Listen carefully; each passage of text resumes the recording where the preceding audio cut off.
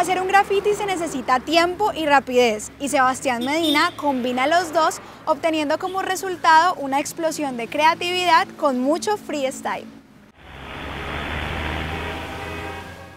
He escuchado que el graffiti representa libertad, pero que también es un arte. Hoy Sebastián nos contará cómo por medio de la improvisación se puede conocer un poco más de la expresión de la cultura hip hop.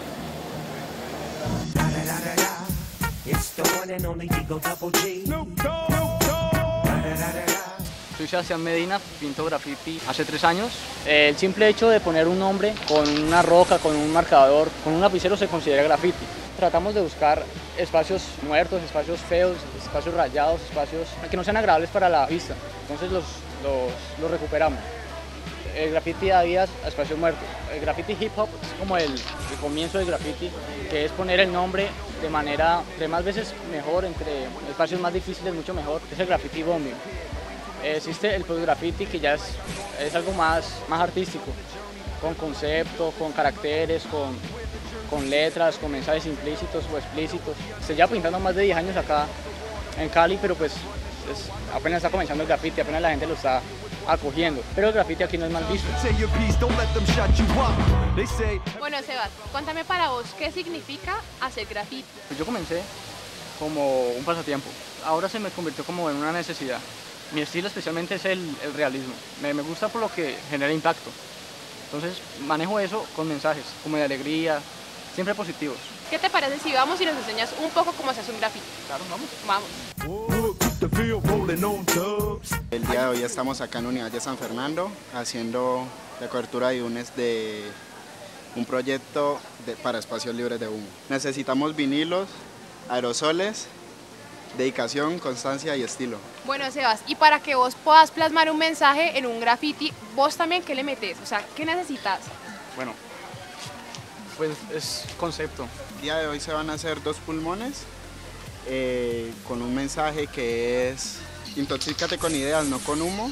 Y es básicamente eso, los pulmones eh, por dentro tienen un espacio representativo de la Universidad de Valle San Fernando.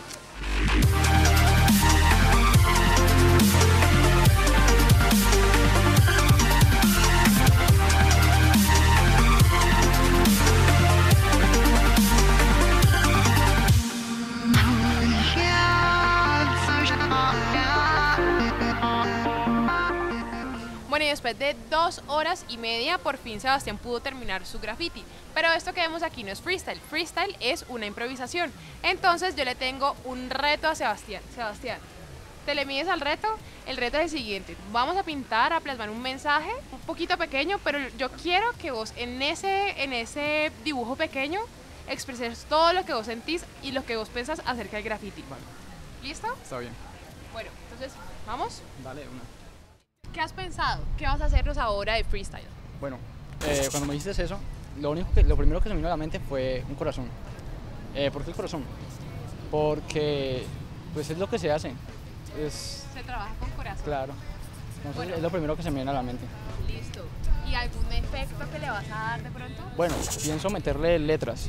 Eh, la S, o sea, mi nombre en la calle es Sam, S-A-N. Entonces pienso meterle la S en, en la mitad del corazón y al final la N. Listo, Sebas. Vale. Entonces mano a la obra. Vale.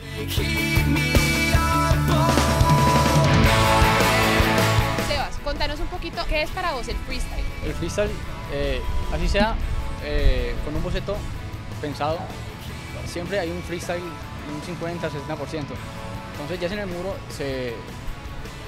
O sea, la inspiración, los, los, los colores van saliendo.